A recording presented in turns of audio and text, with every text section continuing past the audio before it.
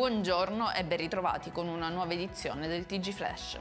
Il conducente dell'auto coinvolta nell'incidente che ha causato la morte di Acatino Botta, di 93 anni, a Catania in Corsa Italia, si è consegnato volontariamente al commissariato. Gli sono stati contestati i reati di omicidio stradale e omissione di soccorso. L'ex sindaco di Vittoria Giovanni Moscato è stato assolto in appello dall'accusa di corruzione elettorale.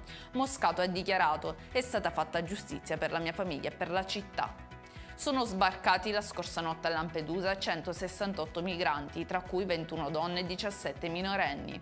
Tra loro anche una donna al settimo mese di gravidanza. Sono stati portati nell'hotspot di Contrata Embriacola. Tutta è pronta a Palermo per ospitare dal 17 al 20 marzo il quarto forum internazionale Pace, Sicurezza e Prosperità. Parteciperanno rappresentanti di oltre 40 nazioni, con l'obiettivo di esplorare le dinamiche della pace positiva e inclusiva. Lutto nel Catanese è morta a 87 anni Roberto Abate, figura di spicco dell'imprenditoria siciliana.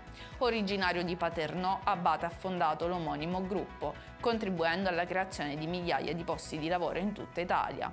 Per questo appuntamento è tutto, la prossima edizione alle ore 19.30. Arrivederci!